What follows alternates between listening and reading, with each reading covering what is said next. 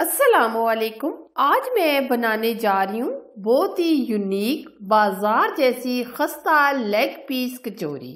मैं इस कचौरी को यूनिक और बाज़ार जैसा खस्ता कचौरी क्यों कह रही हूँ? क्योंकि हमारे इलाके में बाज़ार में ये कचौरी बहुत ही ज़्यादा मशहूर है। आपके लिए तो ये कचौरी बिल्कुल यूनिक है। आप अपनी फैमिली को ये कचौरी ज़रूर बना कर दें और सबको हैरान कर दें। अगर ये मेरी रेसिपी आपको पसंद आए तो ज़रूर लाइक कीजिए और शेयर कीजिए। तो खस्ता लेग कचौरी बनाना स्टार्ट करते हैं। खस्ता कचौरी बनाने के लिए सबसे पहले हमने गंदम का आटा लिया जिससे हम रोटी बनाते हैं। इससे कचौरी बहुत ही खस्ता बनती है। एक कप हमने गंदम का आटा लिया है, दो कप हमने मैदा लिया है। गंदम का आटा हम इसलिए डाल रहे हैं ताकि कचौरी हमारी एकदम खस्ता बने। अब हम इसमें एक चम्मच नमक ऐड करेंगे। अब दोनों चीज़ों को हम मिक्स कर देंगे। अब हम आटे को गूंद लेंगे। आटे को हम ना बहुत ज़्यादा सख्त गूंदेंगे और ना ज़्यादा नरम। तीन से चार मिनट हम आटे को गूंद लेंगे।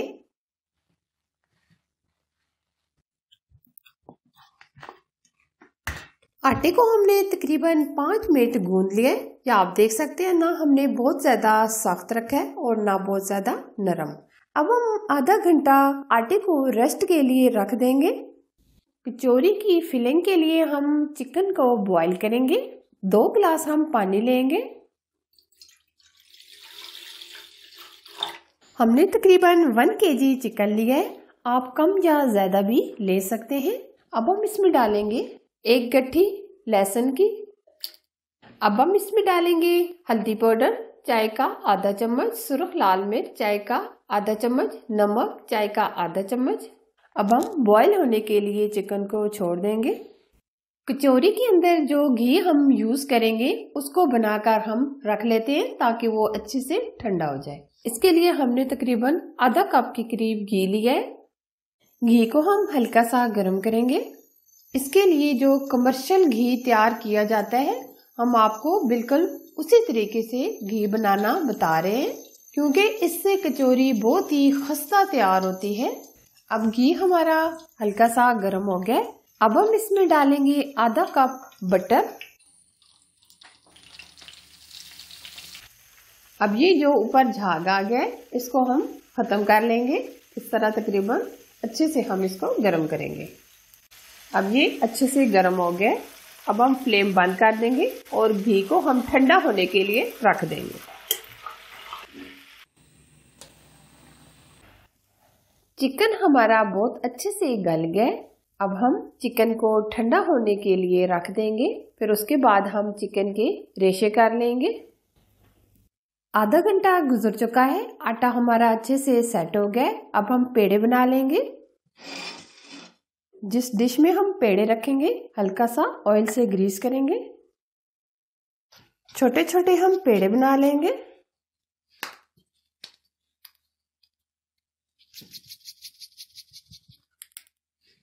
इसी तरह ये हम सारे पेड़े बनाकर तैयार कर लेंगे। ये सारे पेड़े हमने बनाकर तैयार कर लिए। अब हम 10 मिनट ऊपर से कवर करके छोड़ देंगे। तब तक हम स्टफिंग तैयार करते हैं। इसके लिए हम सबसे पहले तीन चम्मच ऑयल के लेंगे। अब हम इसमें स्पाइसेस ऐड करेंगे। नमक, चाय का एक चम्मच, जीरा चाय का एक चम्मच, काली मिर्च चाय का एक चम्मच चिली फ्लेक्स चाय का एक चम्मच, हल्दी पाउडर चाय का आधा चम्मच अनारदाना चाय का एक चम्मच। मसाले हम हल्के से रोस्ट करेंगे। चिकन के हमने रेशे कर लिए बिल्कुल हमने इस तरह बारीक बारीक रेशे कर लिए। ये हमने लेग के ऊपर आधा आधा चिकन उतार लिया है और आधा आधा हमने छोड़ दिया है।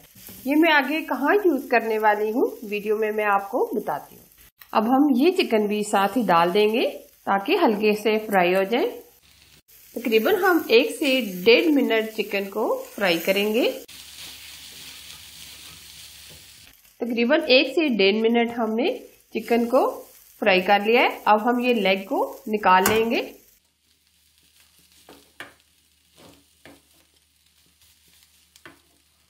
अब हम बाकी की जो दूसरी चीज़ें हैं, वो शामिल करेंगे। अब हम लेंगे बंद गोभी एक कप। एक कप हम लेंगे मैक्रोनीस जो हमने अच्छे तरीके से बॉईल कर लिए अब हम इसमें ऐड करेंगे पाँच से सात अदद हरी मिर्ची, जो हमने बारीक कटिंग कर लिया है, और थोड़ा सा डालेंगे हरा धनिया। अब हम तकरीबन एक मिनट पका लेंगे। अगर आप मैक्रोनीस नहीं ऐड करना चाहते, आप स्किप भी कर सकते हैं।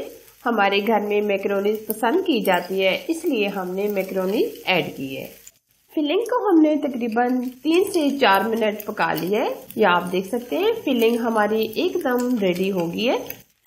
अब हम ठंडा होने के लिए रख देंगे। नमक और मिर्च अपने टेस्ट के मुताबिक कम या ज़्यादा भी आप ऐड कर सकते हैं।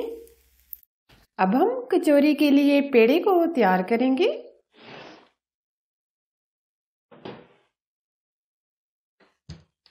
अब हाथों की मदद से हम इसको बिल्कुल पतला कर लेंगे, इस तरह।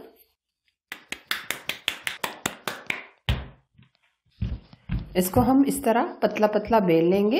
हाथों की मदद से भी आप इसको इस तरीके से बेल सकते हैं। अगर हाथों की मदद से आप बेल नहीं सकते तो आप बेलने की मदद से भी बेल सकते हैं। हम आपको कमर्शियल तरीका बता रहे हैं, इसलिए हम हाथों की मदद से बेल रहे हैं। ये घी और बटर हमने जो ठंडा होने के लिए रख दिया था, ये अब अच्छे से सेट हो गए। अब हम इसके ऊपर लगाएँगे। अच्छे तरीके से हम घी को लगाएँगे ताकि हमारी कचौरी एकदम क्रिस्पी बने। अब हम पेड़े को इस तरह पकड़ेंगे, ऐसे रखेंगे और दूसरी तरफ़ से भी इस तरह। अब ये कॉर्नर पकड़कर इस तरह और ये इस तरह। इस तरह ये हम सारे पेड़े बनाकर तैयार कर लेंगे।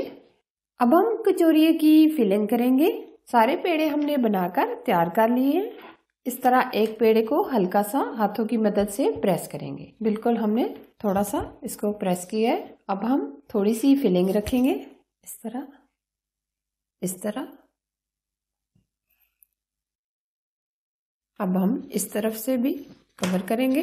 अब हम ये लेग का पीस उठाएँगे। इसके हम दरमियान में इस तरह रखेंगे और इस तरह कवर कर देंगे।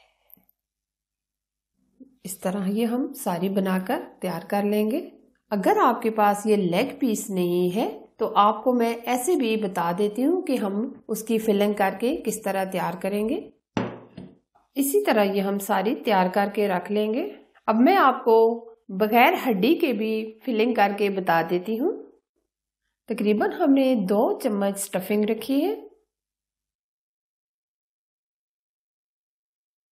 अब हम इस कॉर्नर को पकड़कर इस तरह रखेंगे। अब दूसरे कॉर्नर को पकड़कर इस तरह, इसके ऊपर, अब इस कॉर्नर को पकड़कर, इसके ऊपर, अब ये लास्ट वाला कॉर्नर इस तरह पकड़कर प्रेस करेंगे। इस तरह हम अच्छे तरीके से प्रेस करेंगे।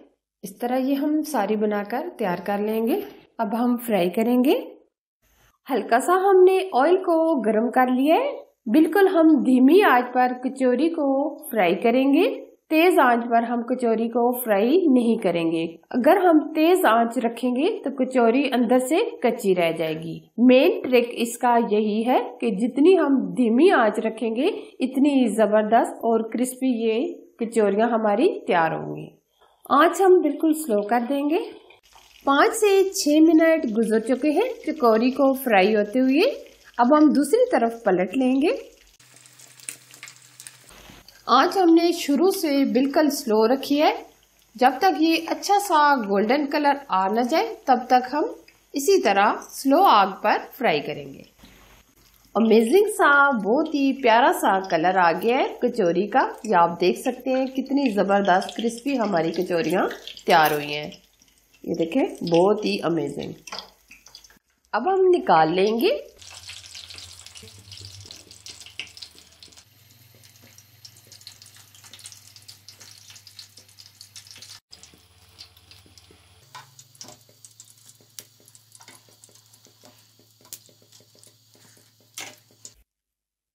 एक्स्ट्रा ऑयल को हम निकाल लेंगे।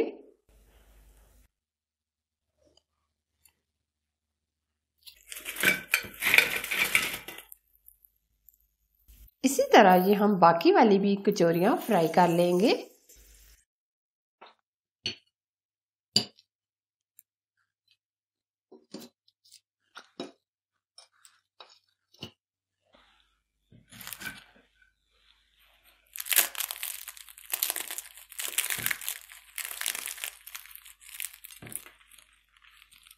ये आप देख सकते हैं, अंदर से ये कितनी ज़बरदस्त क्रिस्पी तैयार हुई है।